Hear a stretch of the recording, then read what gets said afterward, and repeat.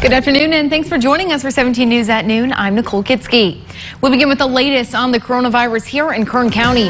Public Health reports 56 new cases, along with nine deaths today.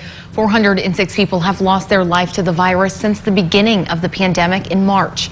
Three months ago, we saw about 600 cases a day versus now roughly under 100 a day. There are currently more than 10,000 people recovering from the virus at home, while 30 are in the hospital. We haven't seen a number quite this low since March.